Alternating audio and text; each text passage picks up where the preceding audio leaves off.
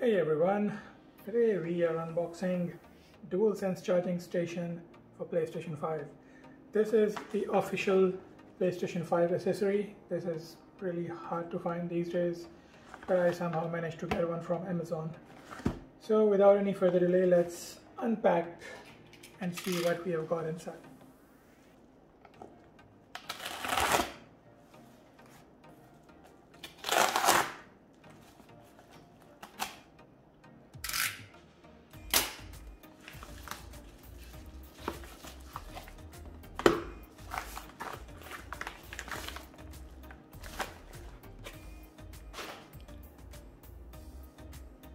So the packaging looks quite simple. It has PlayStation branding, it has the same color scheme, white and blue.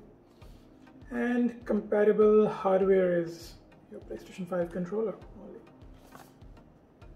You can charge two wireless controllers at same time and definitely it frees up your USB port because this charging dock it runs on direct AC power click and design. We're going to see how smooth this click and design is. And that's it. So let's open it up.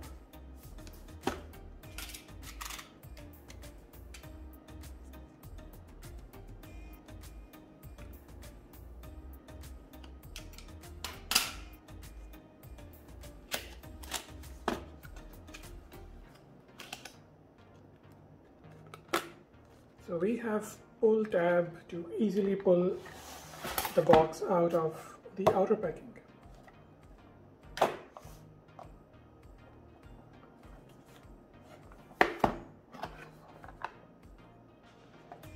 So inside the box we have user manual which gives you the basic. So yeah, as I told you this runs on AC power so it can free up your USB and there are further instructions in it. This is AC power brick.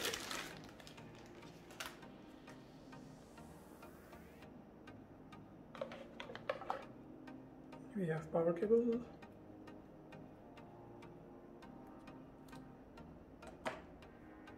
And this is paper and wire.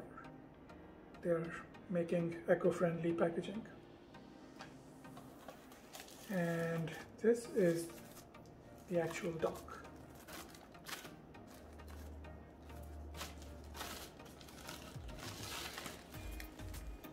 Hmm. Looks beautiful. This does look like PlayStation 5. This is the same design. Also.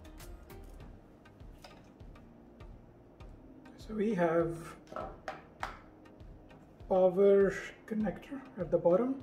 Your charging connector is tilted 90 degrees so it can sit flush with your charging dock.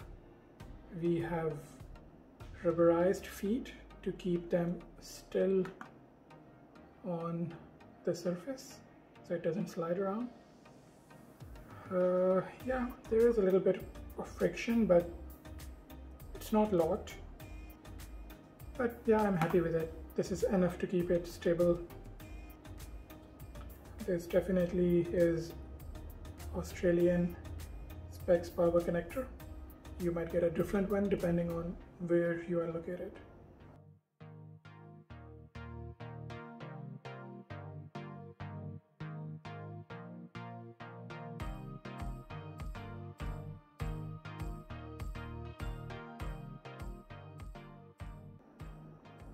Looking closely, we have the similar X, triangle, square and plus patterns on it as we have on PlayStation 5 and on the controller. So putting your controller on the dock is pretty simple. Just match these connectors with the dock's connectors.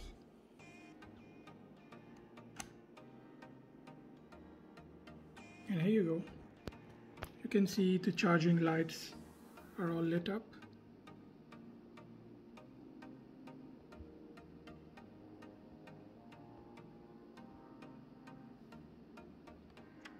But in the same way, you can put your second controller on the second slot.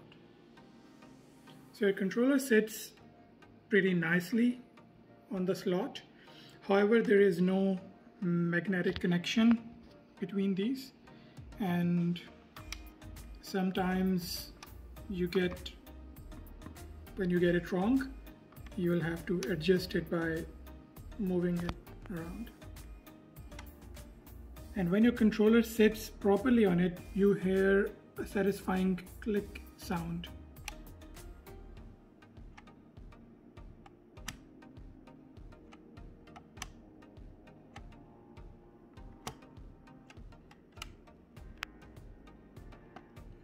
So once your controller is properly on your dock, it sits pretty nicely on it.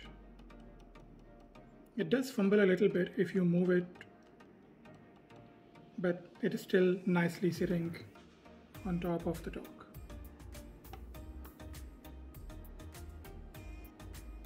So guys, that's all for today. I am pretty impressed by the product so far, especially with the charging accessories, I always recommend buying the genuine ones because sometimes the cheap one can damage your controller. So, and on top of that, this one is really inexpensive.